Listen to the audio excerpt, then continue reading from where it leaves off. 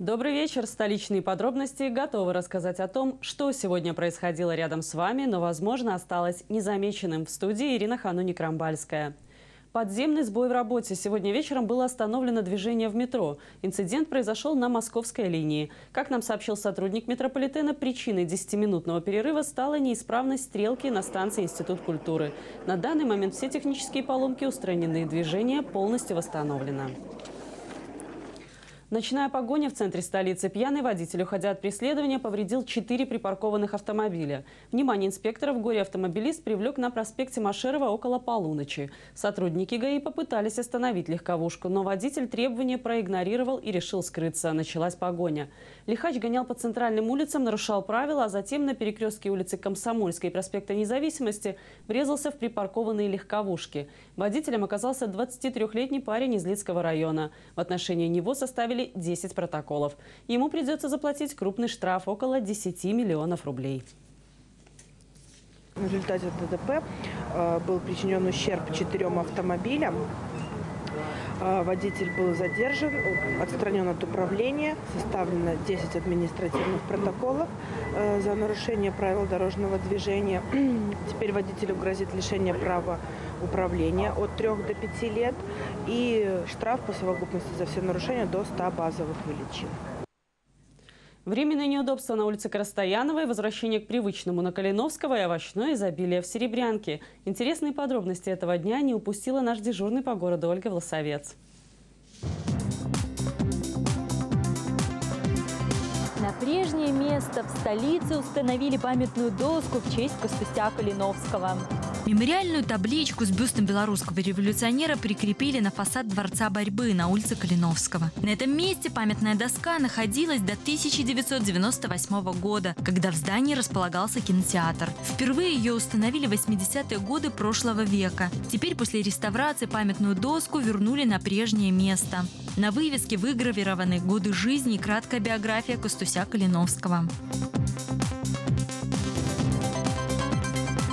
Пробелы на дороге, разобранная тротуарная плитка на улице Красстояновой доставляет много неудобств прохожим. Пешеходная дорожка обрывается на середине и ведет в песок. Рабочие под предлогом благоустройства двора плитку разобрали, а на место так и не вернули. Мечты жильцов об аккуратной территории так и остались мечтами. Плитка пропала, а вместе с ней и строители.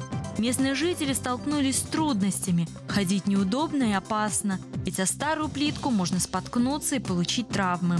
Очень неудобно стало ходить не только инвалидам, но и обычным жителям этого двора. Конечно, хочу, чтобы все восстановили, хотя бы восстановили. Я не прошу о большем.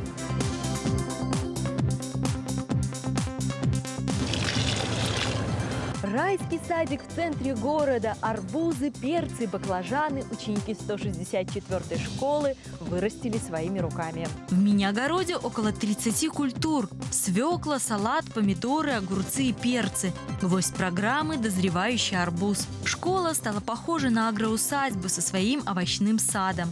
В роли земледельцев – дети, учителя и их родители.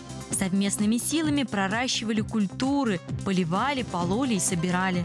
Награду за летние труды – обильный осенний урожай и первое место городского конкурса «Формула сада». В этом году все посетители нашей школы в качестве сувенира будут уносить не блокнотик с логотипом, а что-нибудь э, понравившееся им из нашего школьного огорода. Ваши видео, факты, звонок могут стать поводом для сюжета. Пишите на наш сайт ttv.by в разделе «Форум». Звоните по телефону горячей линии единицы 600 700. И помните, нам важны подробности. Здоровый город, врачебная амбулатория, подстанция скорой помощи и общежитие для медиков откроются в столице уже этой осенью. Их строительство подходит к концу в микрорайоне Каменная Горка. Амбулатория станет филиалом перегруженной сегодня 26-й поликлиники. Помещение на улице Жиновича будут принимать как терапевты, так и узкопрофильные специалисты. Причем работать амбулатория будет и в выходные дни. Доступнее медицинские услуги станут и для жителей Московского района. В 2014 году в микрорайоне Брилевича откроется новая поликлиника.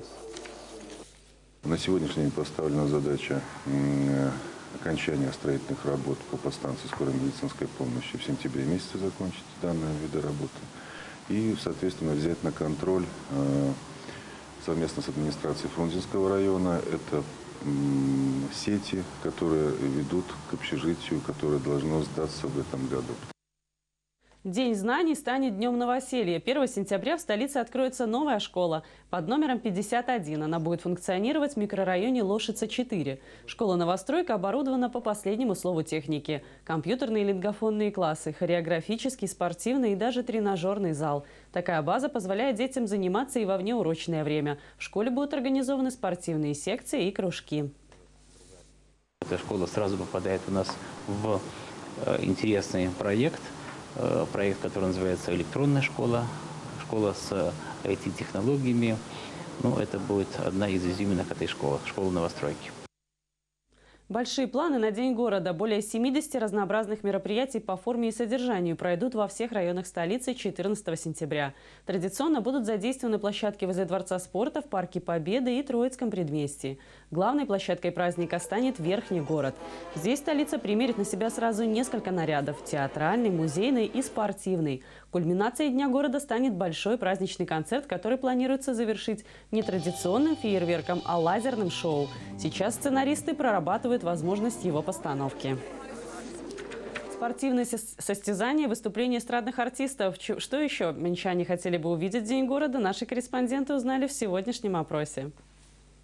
Я ожидаю День города больше музыкальных мероприятий, концертов каких-то, ну больше молодежных. чтобы это были и детские мероприятия, и взрослые состязания, и что-то для мамы, для пап. Короче, мама, папа, я спортивная семья. Очень бы хотелось побольше мероприятий и развлечений для детей. Культурных и спортивных, наверное. Салюты ожидаем, чтобы посмотреть. Каких-нибудь конкурсов, спортивных, там, бегать, прыгать.